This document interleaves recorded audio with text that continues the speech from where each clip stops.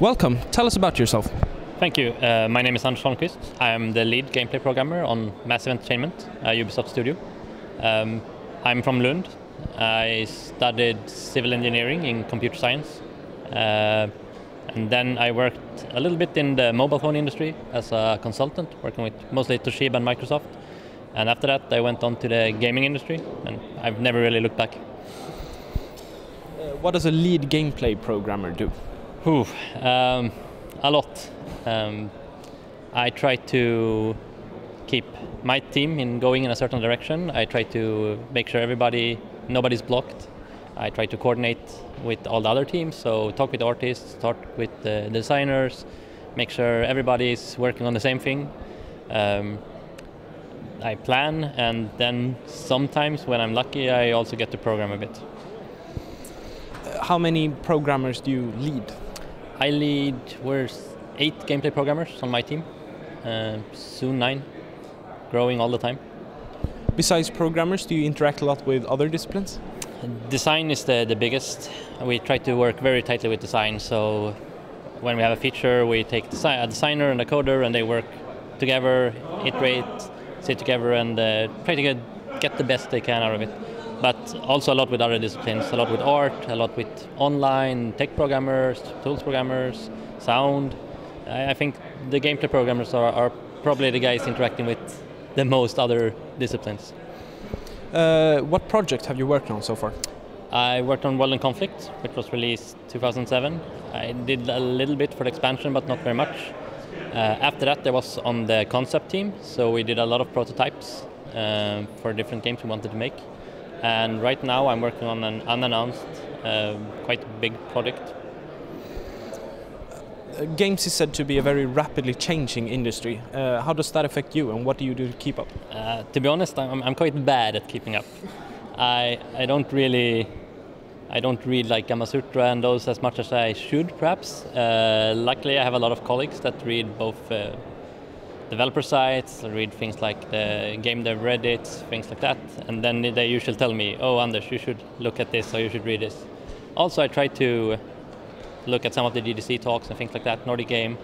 Uh, we also have an internal one within Ubisoft that's called UDC, which is very similar to GDC, but only Ubisoft studios. And that's also very good because you can talk to people from other studios. So I should probably be better, but, but people tell me when I need to read stuff normally. What inspired you to get into game development? Ooh, I, I was very, very young. I think I was five years old, and my father brought home an, an IBM PC, and it had wonderful CGA graphic with four colors, and I started playing King's Quest. So, so one of the things, the first things I actually learned to type was open door, and that was basically the only thing I could type. Uh, and but I got really hooked, and after that I started playing uh, more like text games. There was like Planetfall, Hitchhiker's Guide from the Galaxy, Zork, um, and I really loved those games. So I figured I want to do something similar myself. Uh, so I started doing like simple text adventures in BASIC, and that's how I started doing games. And I realized I want to do this for life. It's so fun. How did you get your first job in the games industry?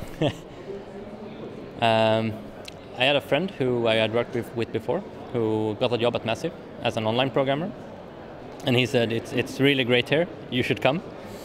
And I was, I, I figured like, that's never gonna work. Everybody who applies is like John Carmack, and I don't know anything in comparison.